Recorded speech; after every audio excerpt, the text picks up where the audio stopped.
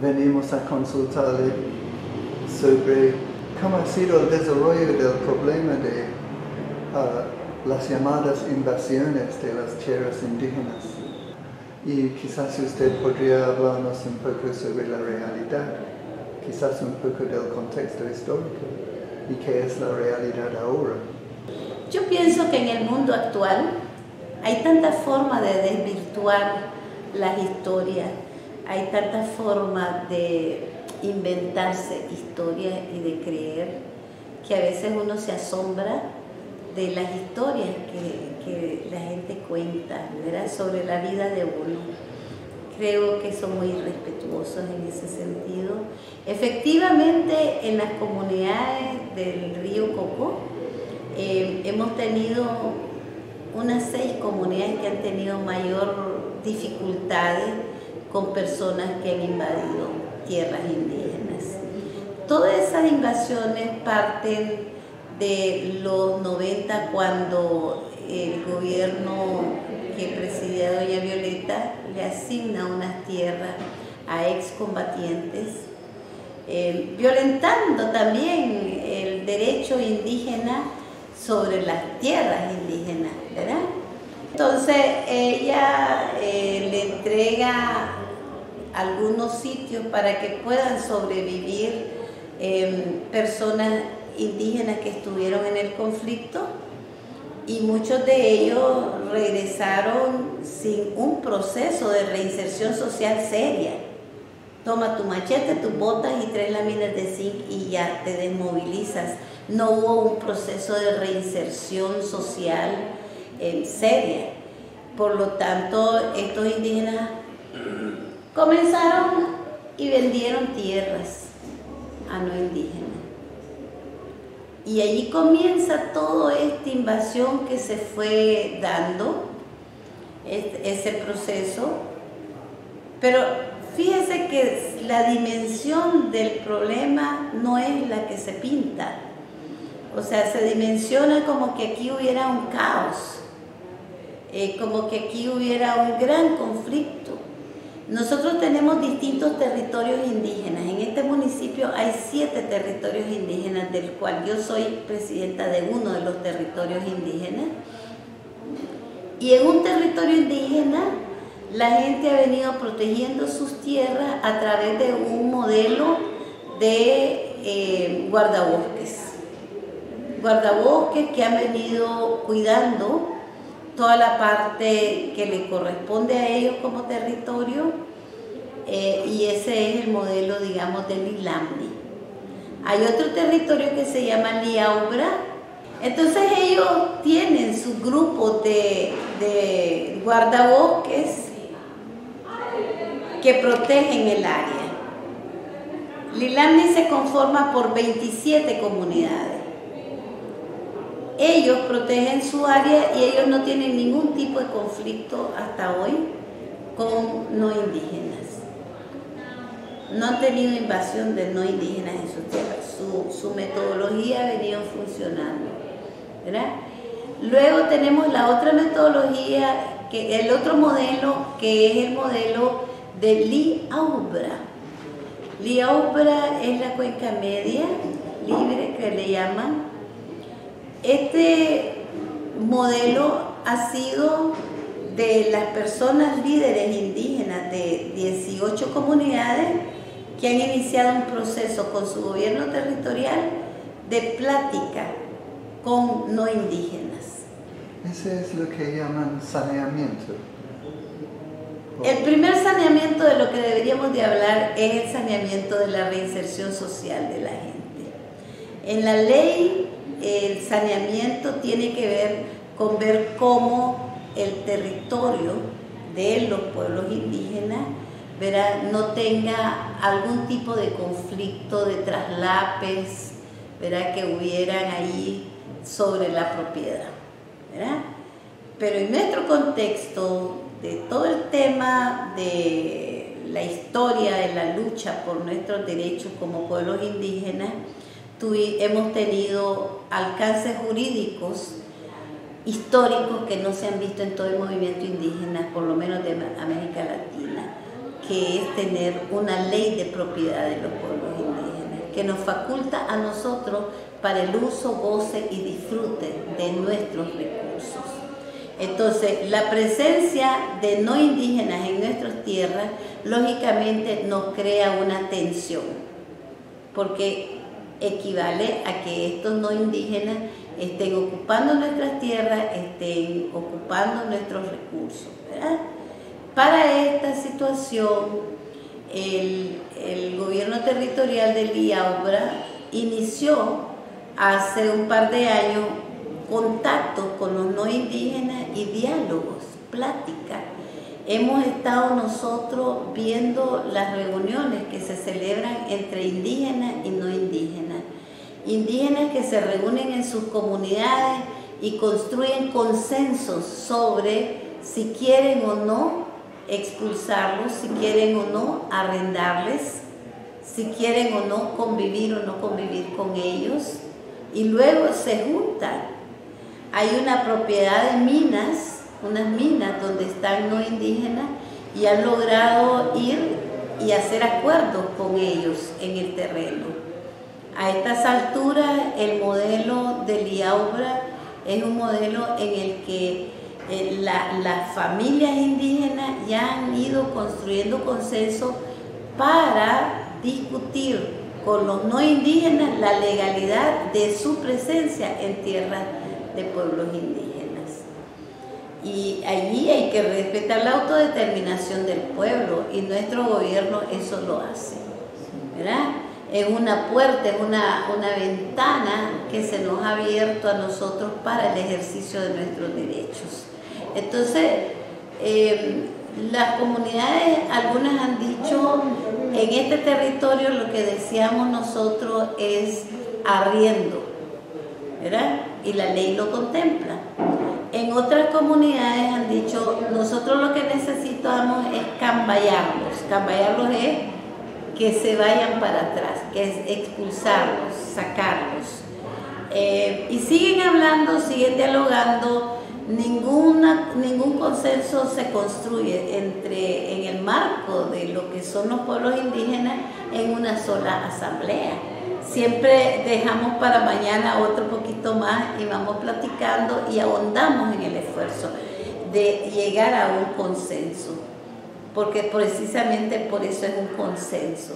Entonces, nosotros, uno de los de nuestros eh, es ese, el de construir consenso, con un diálogo sincero y de buena fe. El otro modelo es el modelo de donde está el territorio de Huanquituita, Barraya, por donde ustedes vinieron, que es puro bosque, lindo, los pinos, ¿verdad? Ese paisaje, la gente ama su paisaje, ama sus árboles, ama su agua, sus recursos.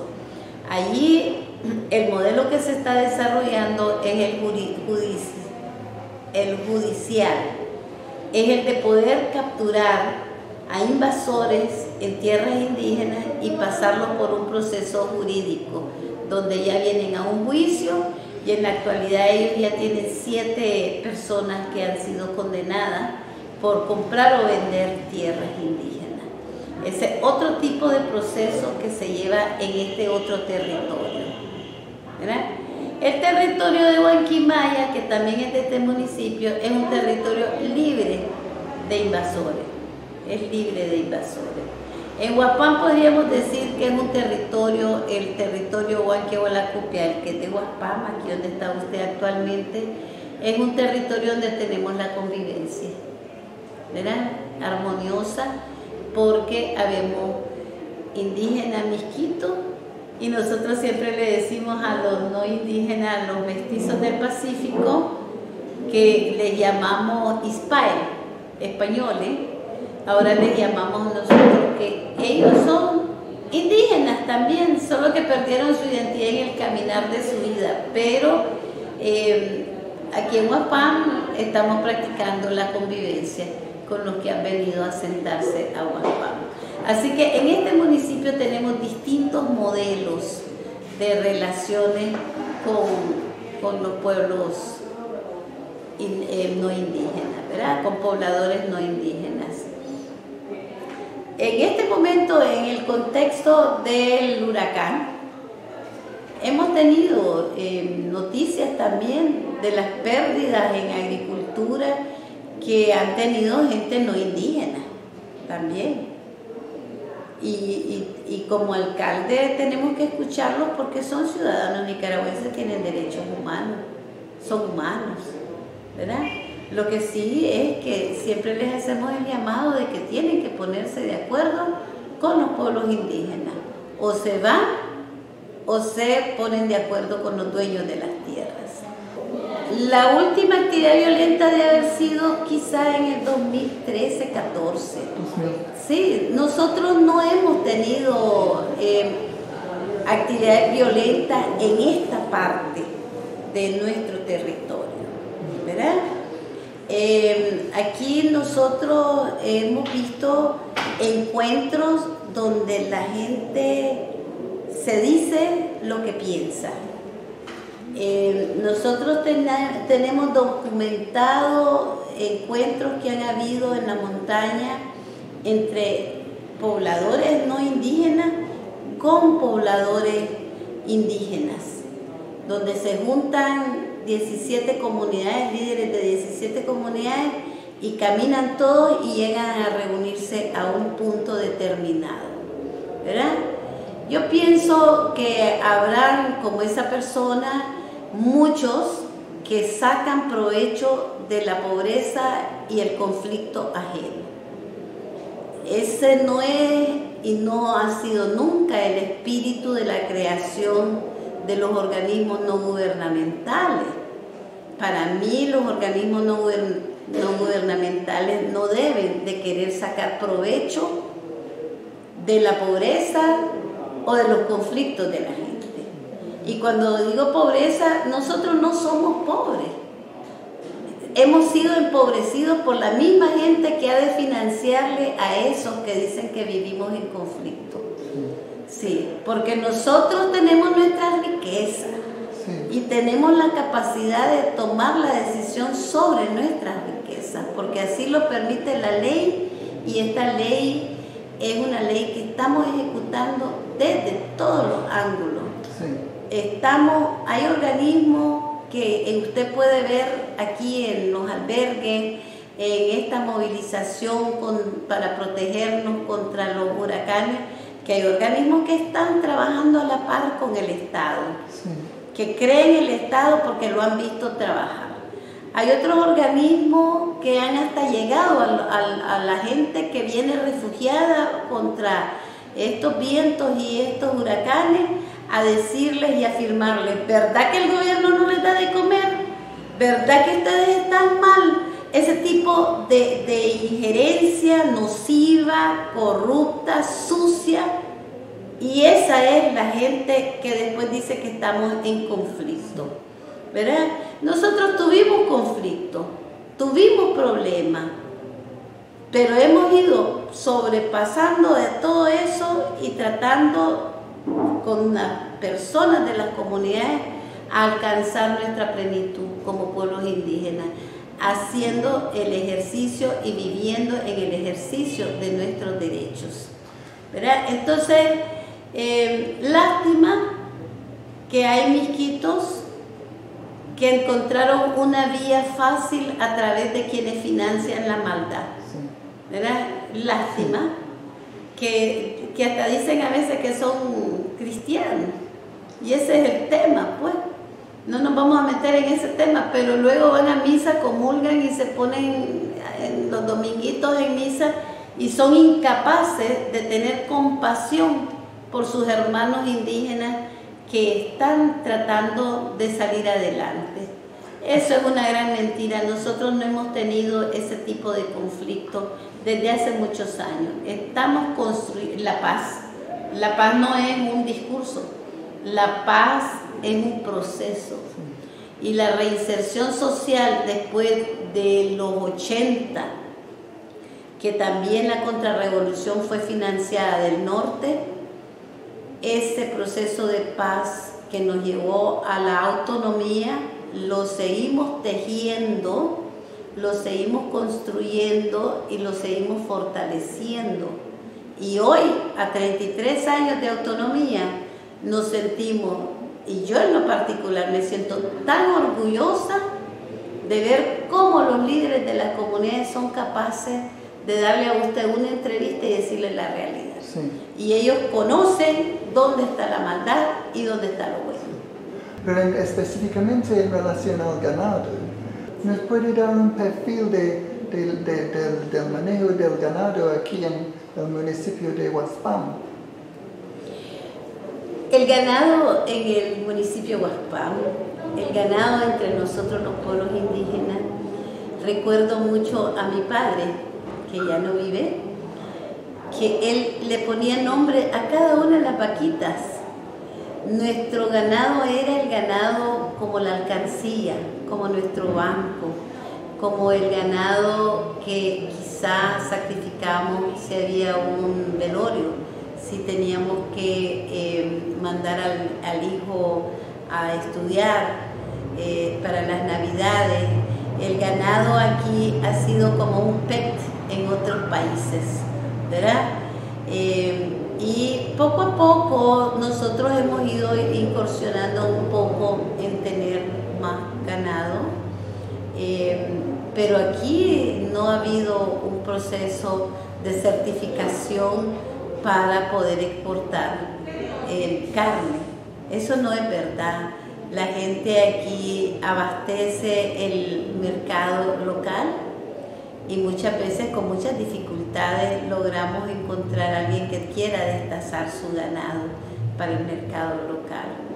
Eh, claro, en los últimos años estamos incentivando a que la gente pueda mejorar su acto ganadero, pueda el IPSA hacer su trabajo para irnos em, enseñando cómo hacer que la ganadería sea mejor eh, pero muy en baja escala tenemos animales, ¿verdad? Eh, así que esa afirmación de estar diciendo que nos matan por tierra para criar ganado, tampoco es verdad. Eso no es cierto. Aquí no ha habido muerto ni un ganadero ni un misquito envuelto en algún tipo de muerte por ganado. Esa es una historia de Disney World, tal vez de Mickey Mouse, quién sabe, pero eso no es una historia real de este municipio de Huaspam ni de ningún municipio donde están los pueblos indígenas, porque nosotros todavía queremos mucho nuestro ganado. Seguro que usted cuando vaya por la carretera va a encontrar ganados ahí paseando entre la gente y llevando esa relación muy armoniosa entre todos nosotros los que puedan tener o no ganado. Es más, el ganado anda deambulando en muchos de los casos sin un potrero, sin un lugar donde los tengan y eh, nosotros a veces hasta nos hacemos la broma porque a, nuestro, a nuestra paquita la gente no le gusta a veces ordeñarlas, ¿verdad? Es una cultura nuestra, es una forma diferente de, de concebir el tema de la crianza de ganado. Y él entiendo que por ese motivo de, del manejo comunal uh, de, de, de, su ganado, uh, el sistema de IPSA, que está en base a finca, la, la, inscripción de finca, no funciona porque no hay fincas. No hay. no. no hay y, lo, y, y el ganado anda libre el, ganado anda libre. En las comunidades, aquí a la alcaldía, muchas comunidades nos piden como prioridad eh, alambres, alambres de púas para poder eh, poner alambre donde el ganado de la comunidad no entre al área donde ellos hacen su, agricultura de autoconsumo. Pero ahí se mezcla el ganado de todas las personas de la comunidad y, em, no, no, no son esas fincas de las que hablan. Entonces creo que un poco les ha fallado porque primero hablaban de minerías, ¿verdad? Y que la minería, aquí no lo vamos a negar. Sobre el río hay personas que trabajan la, minería artesanal y, lo lavan en hojitas de banano y a veces en bateas eh, y son muy cuidadosos porque se ha venido concientizando sobre el tema. Pero tampoco es que aquí hay una industria extractiva contra mina. Bueno, no les funcionó esa mentira y ahora vienen con la mentira del ganado y vienen con la mentira de los colonos y todo es una mentira para que los que les gustan las historias raras puedan creer y caer en esas historias y les den dinero. Eso es todo en la historia. Entonces, en todo caso, yo diría que cuando en Estados Unidos o en cualquier parte del mundo se dijera que aquí se mata indígenas para poder criar ganado y que el ganado eh, equivale sangre indígena, ¿verdad? Es al revés la historia. Eh, es al revés la historia. Están ellos inventando y viviendo de la historia indígena. Y en todo el mundo, en el movimiento indígena, nosotros deploramos, condenamos ese tipo de señalamiento que se hace a los pueblos indígenas. De Nicaragua y de cualquier parte del mundo siempre nos vamos a encontrar con personas nefastas que quieren crear este tipo de historia para poder beneficiarse y no trabajar realmente desde una visión cosmogónica de nuestros pueblos indígenas, respetando nuestra vida, nuestros derechos humanos, respetando nuestra historia, nuestra cultura, nuestra dignidad. Juegan con la dignidad de los pueblos indígenas y pobrecito de los que juegan con los que quieren llevar esas historias.